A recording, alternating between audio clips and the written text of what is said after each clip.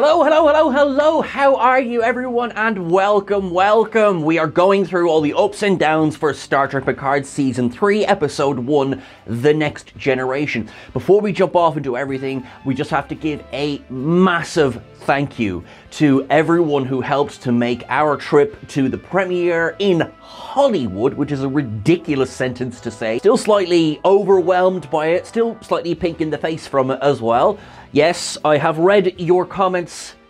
Sunscreen. We gave our quick, quick feedback there just at the end of the premiere. We had some lovely special guests join us for that video. So much fun. But this video, it's going to be the full, completely spoiler including ups and downs. All the spoilers all the way through. So you have been given fair warning.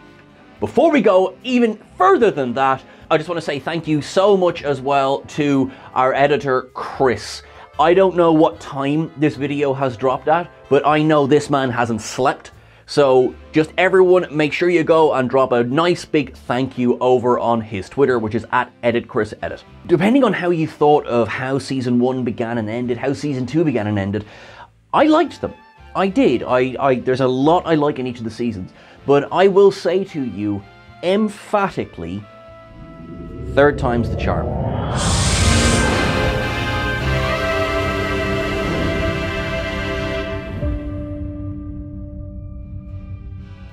Our first up of the episode goes to the dedication.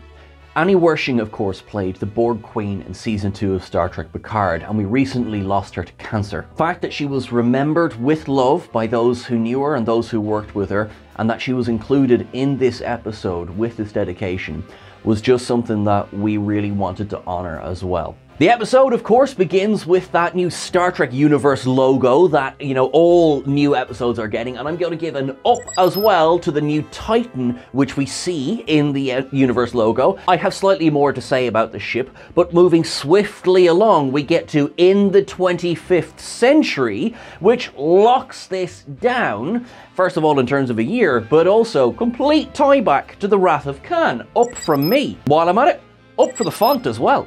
We get this gorgeous panning through space and these nebula gases, very, very, very like the opening of the very first episode of Star Trek Picard, Remembrance, which then leads to the reveal of the SS Eleos, which is the ship bearing a very familiar doctor. Once the reveal happens that Dr. Crusher is the one who's going to open the season, I just want to take a very quick note to jump on that voice of that computer for the SS Eleos. Now, there was a little bit of talk just before the season began, the fact that Majel Barrett Roddenberry's voice was not going to be used for the ships in this season. V various reasons for that behind the scenes, but I want to really highlight the voice that they do use. Amy Earhart is the voice of the computer of the SS Eleos in this season. She's been in Star Trek before. She was a Vulcan delegate in the episodes Demons and Terra Prime in Star Trek Enterprise.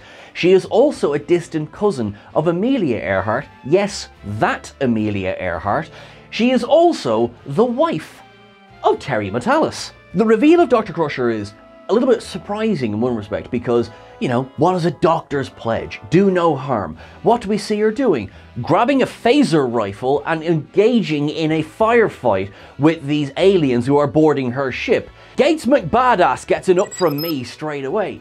One of the great crimes of Generations First Contact, Insurrection, and Nemesis was that Gates McFadden was effectively relegated down to kind of cameo status, whereas she is front and center here. The entire drive of this first episode is to get to her. She reaches out to Picard, she is shooting people at point blank range. It's all about her in this episode. And it's so crucial to know that this is the direction the season is taking.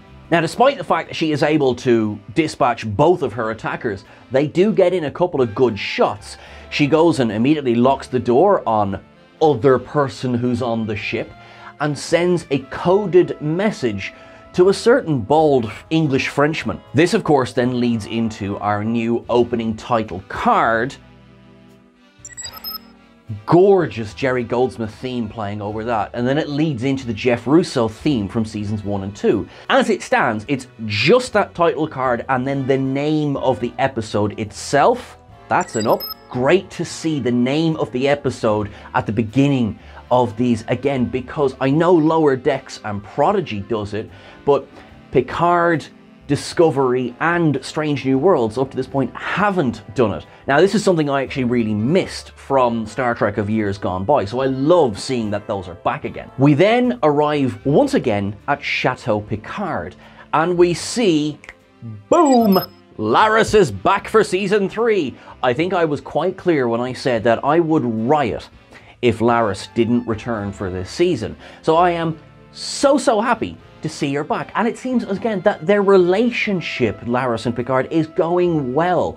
In fact, they're thinking of moving off world and they're going to a place that has a lovely bar that has a great view of sunset. Also, great to see as well how well they work together. We look to Jean Luc as sort of the elder statesman, but actually, you know, Laris possibly has some years on him, and it's good to see that dynamic between them and how they bounce off each other and how she, you know, will listen to his nonsense, but she'll hold him to task as well.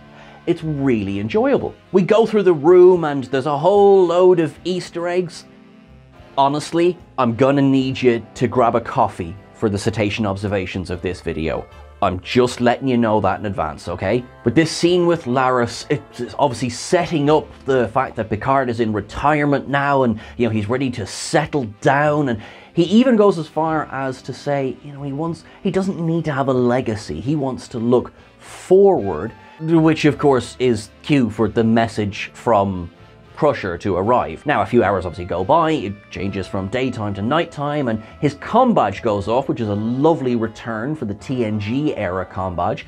Crusher gives him this warning, and he's all, oh no, I should do stuff, and then he goes and talks to Laris, and I have a, I have a down.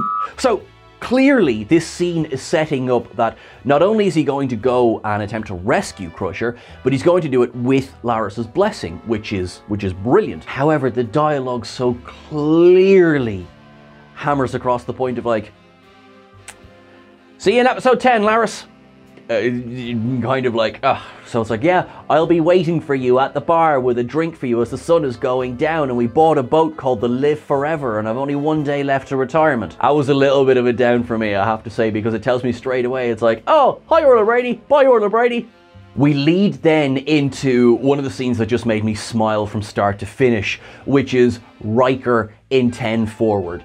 Jonathan Frakes very nearly steals this episode for me. He's both better than he's ever been, he's a little bit different, he's still exactly the same.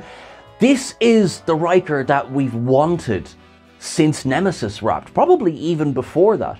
Because while I really loved what they did with Riker in season one in Nepenthe, this is sort of the a little bit adventurous Riker back again, and it's great to see. Love seeing the banter that he has with the barmaid in 10 Forward.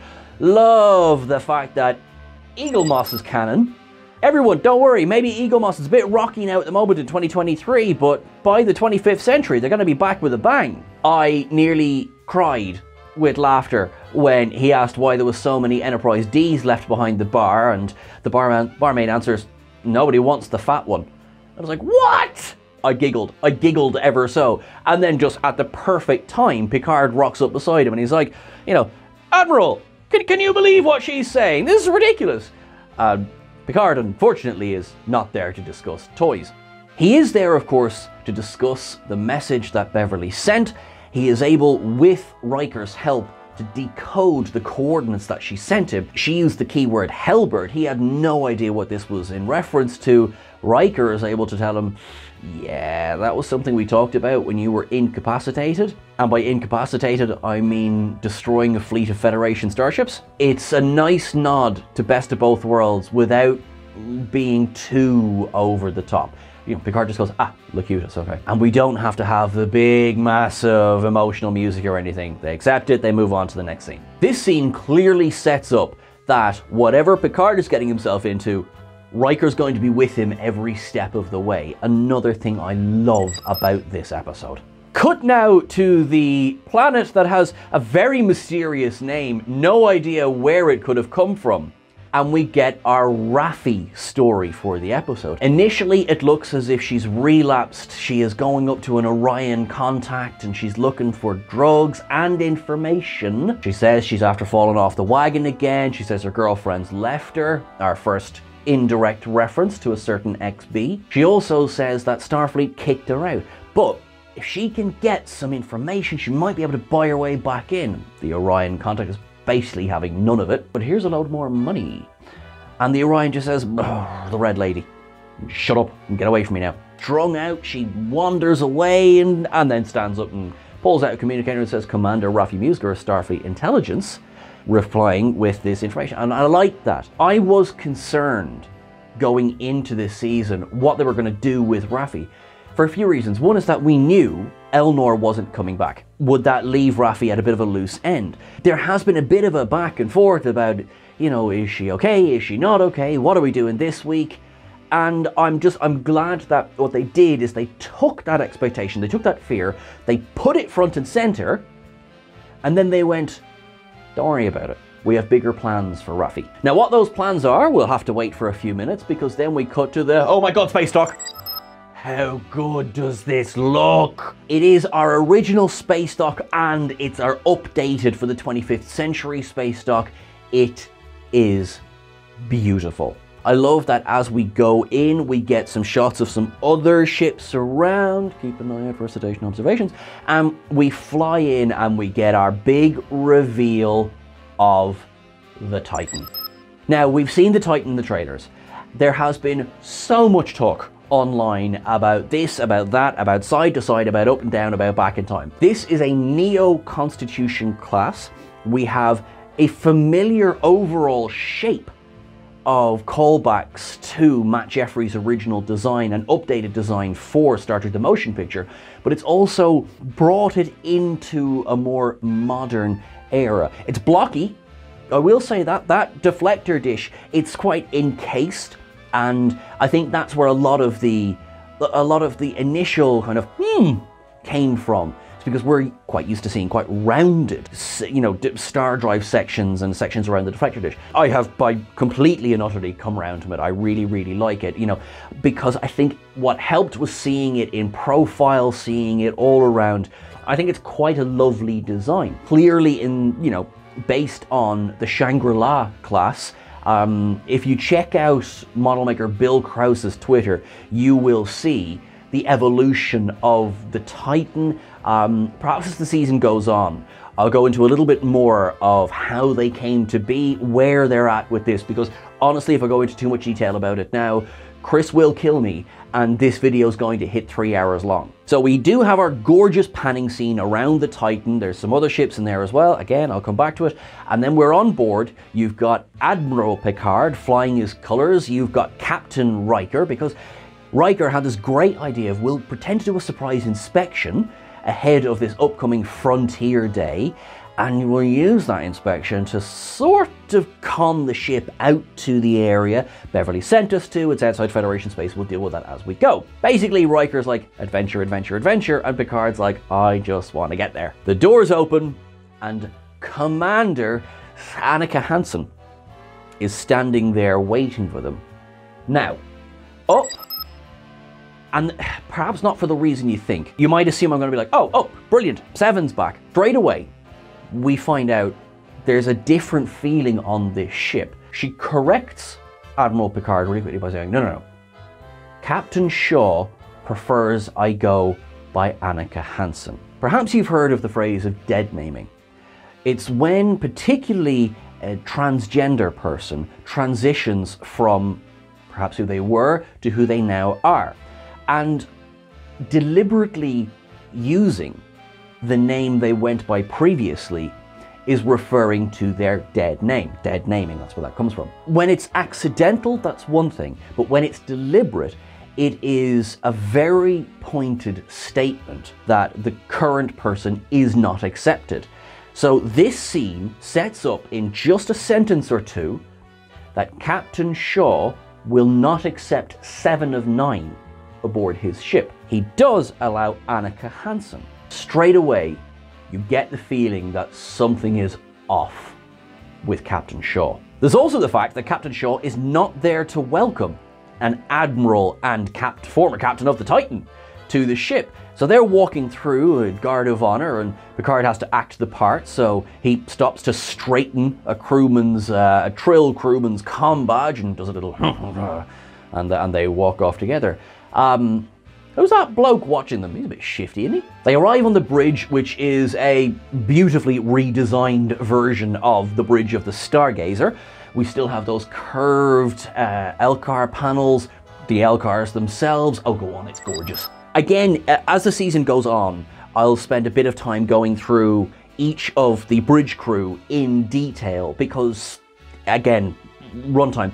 But there's two I want to single out straight away just in this. First of all, I want to give a shout out to our lovely bald Vulcan, Stephanie Czajkowski. I really hope I've pronounced that correctly. If I have not, please let me know and I will amend. We also have, this just makes me smile, we have Sydney LaForge, uh, who just we, we, meet her with this demented smile on her face to the fact where Picard turns to Seven and goes, "Is there something wrong with that ensign?" And then the entire scene plays as an obvious homage to meeting Demora Sulu on the bridge of the Enterprise B. We even get the fact that Kirk doesn't recognize Sulu because so much time has gone by. Picard doesn't recognize Sydney LaForge because so much time has gone by. It's very much, you want to be you know, when you're an officer on a bridge, I assume, having not been one, but you want to be respected in your position, you want people to take you seriously. What you don't want is your dad's old mate to go, ha ha ha, Crash LaForge, that was you! Ha ha ha, you crashed a shuttle twice! Ha ha ha ha. Oh. She takes it in her stride, or she, but maybe the smile dips by a couple of molars, but you can tell this is a very friendly reunion. Oh, it's just so heartwarming to see this entire scene. We then get, you know, take us out of space dock and absolutely that's getting an up because I mean, come on.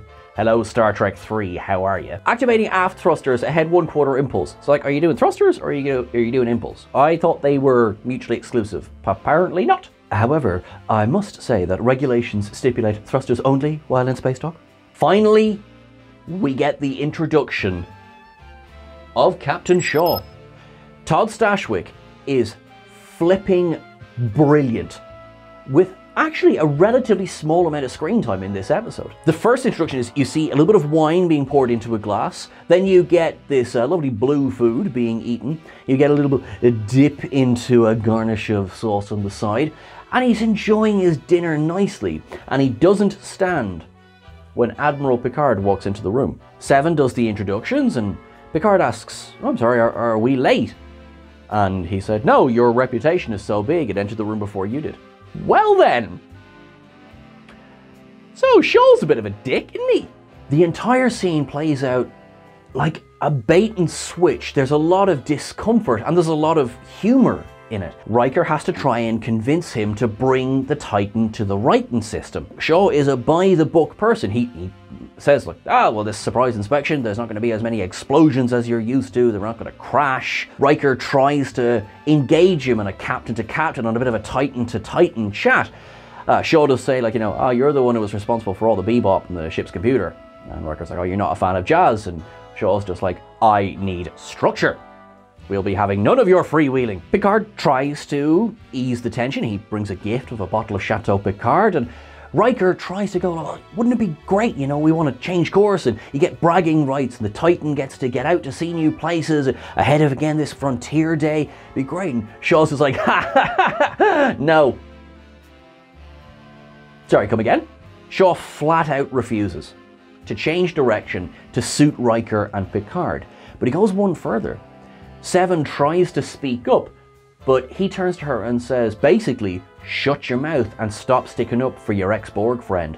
And that's when ice could form on the table. All niceties are dropped at this point. Shaw leaves the room, pausing long enough to pat Riker so condescendingly on the shoulder, and away he goes. Riker and Picard, they sort of tip their hand a little bit to Seven, as they are walking out, they talk about, oh god, we need to get to the Ryton system, and Seven standing there just behind them, and you can see it written all over her face. She's like, ah, I'm gonna get in trouble for this, aren't I? We then cut to up. You have Admiral Picard and Captain Riker on bunk beds. Now, this scene looks like it was taken right out of the enlisted crew members scenes from Star Trek VI The Undiscovered Country. But also, Captain Riker is in socks, which is why this is my Latinum up. We do a quick cut back to Raffi. Raffi is trying to get in touch with her handler, her, you know, her contact with Starfleet Intelligence. The handler at the moment is just text on a screen. Raffi is quite frustrated. She's been undercover for months. She's trying to get more answers. She has received this tip about this red lady. We know no context. You know, we had in here in Trek Culture Terrace, we were like, you know, are we getting the Red Angel? Is this happening? Are we getting a sequel to Discovery Season 2? This handler is very blunt and denies her and denies her again. And she starts to get very frustrated and you know they bring up her service history, plenty of Easter eggs in there, and remind her that she's a warrior. Deny, deny, warrior. Aboard the Titan, Riker and Picard are invited to join Seven of Nine in the observation lounge where she asks to speak freely, and they say okay. And she says, Tell me what's going on, or I'm airlocking you both. Now remember, Riker and Seven haven't met before, before this day. You know, he's like, How dare you speak to an admiral like that? And she goes, I'm talking to my friend. And Riker, you could see it in him. He's like, Took me a while to be able to speak to him like that. And they, there's a little bit of an explanation of Seven's backstory with Starfleet about how Jean Luc and Janeway convinced her to join. And I'm loving what they're doing with Seven this season so far. It wasn't a simple flip a switch, now I'm a Starfleet officer. And I like that. And there is a callback to the Fenris Rangers as well. And then there's the reveal that she has changed Shaw's orders and brought them to the Ryton system. And she says, Look, you have four minutes, get a shuttle, go. Shaw, because, you know, he can only sleep when everything is absolutely perfect, wakes up, sees the Ryton system through the window, and is like, Oh, hell no. Gets up, runs to the bridge, and basically says, Commander, you just loyaltied your way out of a career. He quickly demands to find out where are Riker and Picard, and LaForge tells her, oh, we've got an unauthorized shuttle launch there. Shaw is not best pleased. Riker, however, is having a great time. He turns to Picard and says, I really like that Seven character. As the shuttle is flying toward the Helios, which is just outside Federation space, they pull up Beverly's most recent Starfleet medical records and down.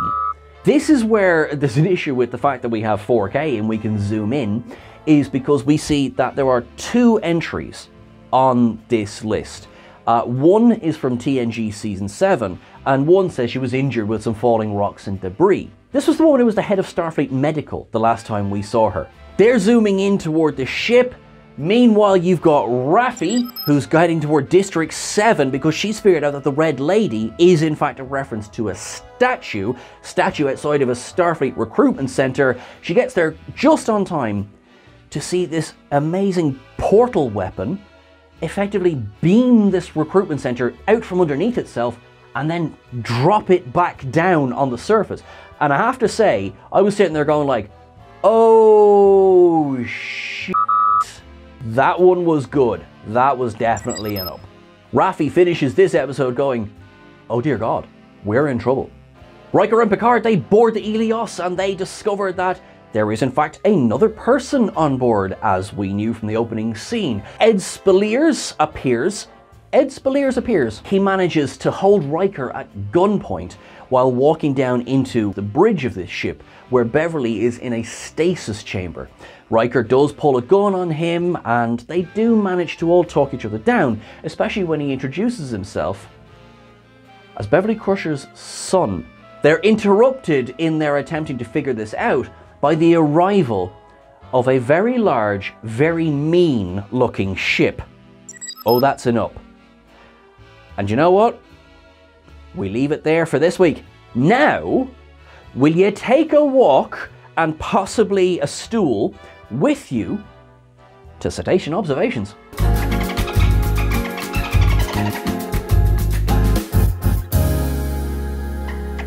In this episode, we have it's in the 25th century. We have lots of Jerry Goldsmith in the beginning of the episode. We have that nod to season one remembrance, the intro scene. We have a revelation that Beverly has continued to keep orchids first seen in Cause and Effect, season five of TNG. We see the theatre, comedy, and tragedy masks, which of course is a callback to the fact that she was directing theatre on the Enterprise D. The log entry that we hear in the opening scene is from the Best of Both Worlds Part 1. It's the one that Picard makes while they're hiding in the nebula from the Borg. We have have the song I Want to Set the World on Fire, which Fallout fans will remember very well. We see the next generation desktop computer. We see an award for Beverly for Core Corolli 5. She was able to help with the Fyrox virus.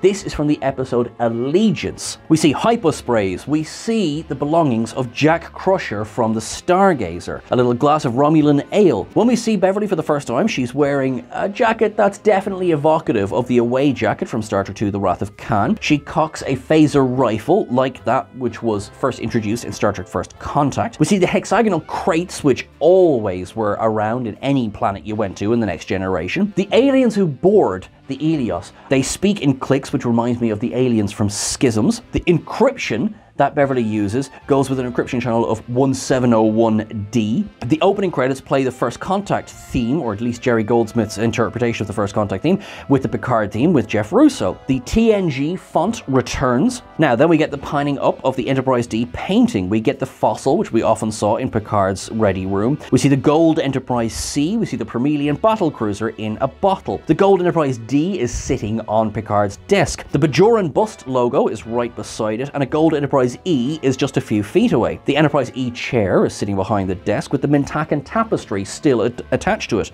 Picard mentions wanting a bottle of Saurian brandy. He holds the Ressikan flute up at one point and sitting on his desk later on is a Kurlan naiskos. Now we see TNG pads in his packing crates and also mm, lovely crate of Chateau Picard. We see the return of the TNG uniform, nice and packed up, as he's looking for his com badge, which is how Beverly is trying to contact him. He uses the authorization code, Picard 47 Alpha Tango, which is several references in once. The whole code is a references to first contact, and of course 47 being the most frequent number to turn up since the next generation. As he's speaking to Laris, there's a Vulcan lyre in the background. In 10 forward, we see the Eaglemoss Enterprise D, which is lovely. There's a Frontier Day poster behind Riker with the Enterprise re or 1701 refit on it, Galaxy class, Intrepid class, NX-01, and the Enterprise B Excelsior refit. Of course, we get a name drop of Guinan and 10 forward itself. The Eaglemoss Voyager is there. There's an Andorian standing right behind Riker. Federation class Dreadnought model is also on display in 10 Forward. Now, for those of you who did collect Eaglemoss, like I did, you'll know that there was no commercially released version of the Federation class Dreadnought. It seems to have been either custom made for this episode or Maybe it was one of the ones that was on the way. There's a Tellarite sitting at the bar. There's bottles of Andorian ale behind the bar. They talk about Rigel 7. Now, while the next generation didn't really visit Rigel 7 on screen, if we read it, it's the birthplace of Lieutenant Bob Blackman from an episode The Chase. Robert Blackman, of course, being the person who designed the next generation uniforms. We all the, re, the from season three onwards, I should say.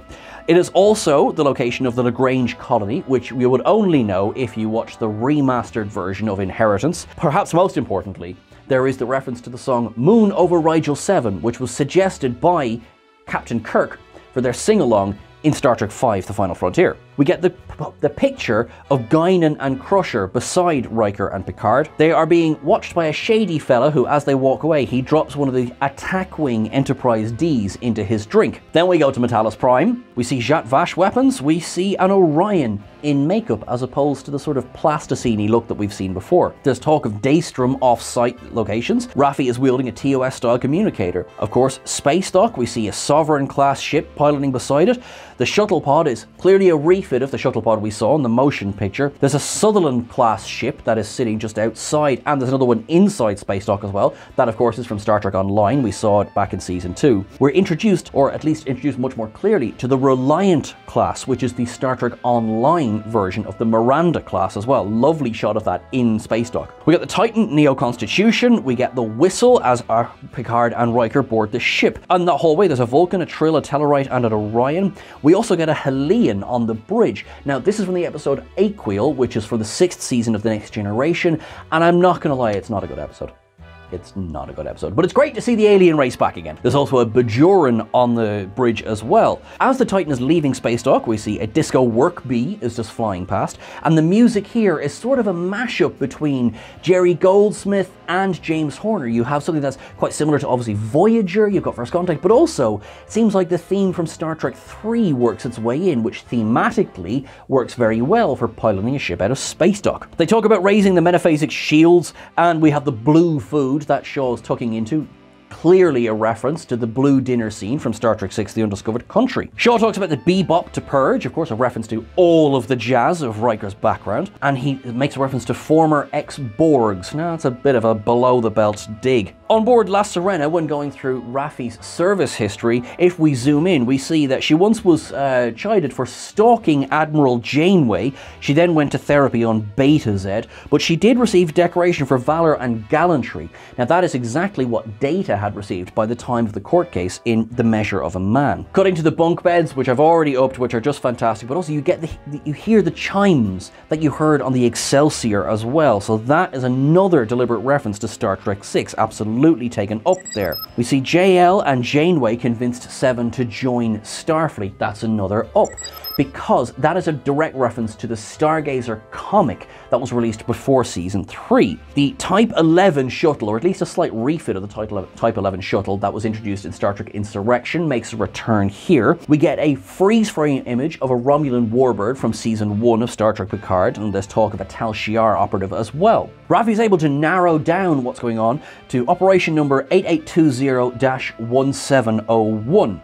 There are then references to the Bajoran Gratitude Festival, which we remember from the episode Tears of the Prophets of Deep Space Nine. Then we get a reference to Empire Union Day. Empire Union Day was mentioned once before in the 1993 audiobook Power Klingon that was read by Michael Dorn and Marc Okrand. Marc Okrand, of course, invented effectively the Klingon language based on the few sounds that were made for Star Trek the Motion Picture. The bits in Klingon were written out, were read out by Marc Okrand. And then of course there's Frontier Day itself, Frontier Day being the 250th anniversary of the formation of the Federation. If you zoom in, you will see the Pathfinder class Voyager B on screen. That's cool. That's cool. Now that also tells me that, you know, we know that there's a Voyager B at this point in time, so, you know, if one were to watch Star Trek Prodigy Season 2, one might be interested to find out what's going on with the Voyager A. Perhaps I've said too much. You see concept art for the Stargazer, you see pictures of United Federation of Planet headquarters, you see Starfleet Academy. You then see Enterprise F for early decommission. Now, if you've been paying attention to Instagram, the Star Trek logs, it tells us that the Enterprise F is due for early decommission due to the Monfette Gambit. Monfette being the name of co-producer Christopher Monfette. We get, of course, a reference to Rachel Garrett, captain of the Enterprise C. There does seem to be an image of a Crossfield class ship down in the corner, which raises questions because the Discovery's been completely classified, and the Glenn blew up after letting a tardigrade run around and kill everyone, so not really memorable. Beverly's medical history, the well, now I have to say, I did like the fact that of the two that I did complain about, one of them is from Genesis, that she got sprayed with an unknown venom and needed reconstructive surgery, Genesis was directed by Gates McFadden in season 7 of The Next Generation. Riker talks about how her pulse ox is quite low, and the display is very reminiscent of the original series medical displays that we see. Shuttle docks with the Eleos, very, very similar to how the Vulcan shuttle docked with the Enterprise 1701 in the motion picture. Uh, Ed Speleers' phaser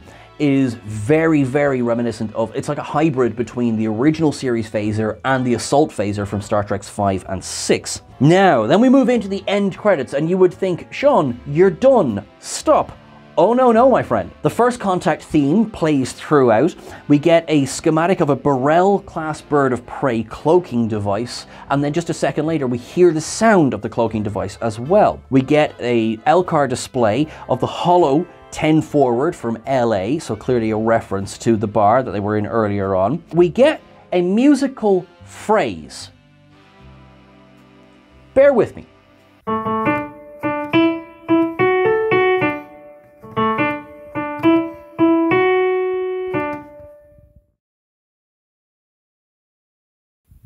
marvelous.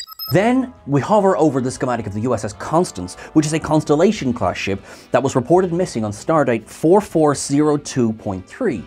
In fact, it was reported lost in action, and that stardate is Wolf 359. Then we get to the uh, display of space dock, and around it are dotted several uh, registries. We have NCC 80107. Now, while that doesn't reference a specific ship, it is one of the Luna class vessels. Luna class, of course, being what the middle Titan was.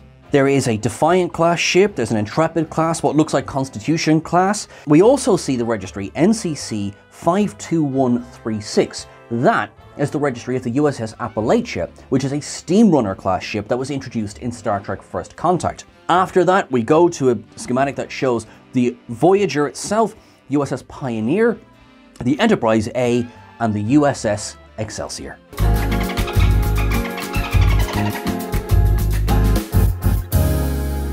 Finally, that's it for this episode. Now, I, with the sheer amount of Easter eggs that are in there, I surely missed something. So by all means, please let me know. Please let me know. And go and make sure that you get in touch with us on social media at Trek Culture on Twitter, at Trek Culture YT on Instagram. Now you can catch myself at Sean Ferrick on the various socials. Make sure that you show some love to at Edit Chris Edit on Twitter and Instagram because that man, no matter how tired you think I am right now, he's more tired because he's had to do all of this video and put it together. So show him a bit of love there. Everyone, thank you. What did you think of Star Trek Picard Season 3's first episode? Don't forget as well that Season 3, while it might be the close of Picard, it may not be the end of the road. If you want to get a little bit of what I'm talking about, check out our buddies over at SFX Magazine. Now, their most recent issue that just came out contains some cool interviews, one with Jonathan Frakes, which teases a future for Next Generation, and also with Gates McFadden as well. And their next issue, which will be available probably by dropping, you know, the links will be in this video to either pre-order or order. I wouldn't send you there if I wouldn't go there myself. Yous are awesome, yous are wonderful. Whatever you do until I see you again, will you make sure that you live long and prosper. Everyone, all of our friends around the world who are facing hard times, know that there is a community here who is with you, who loves you. Remember, infinite diversity in infinite combinations. We love you all. Everyone, you have a good weekend. Make it so.